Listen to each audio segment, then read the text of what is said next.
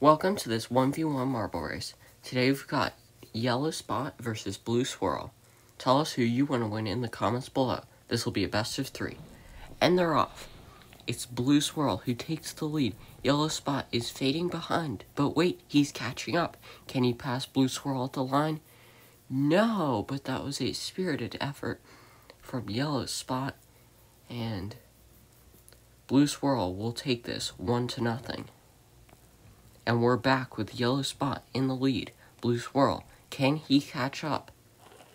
No, he won't. And this will go down in the third race. Who will take the win?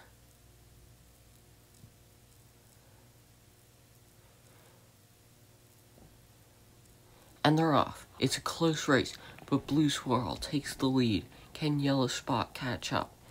It's not looking likely and Blue Swirl will take the lead.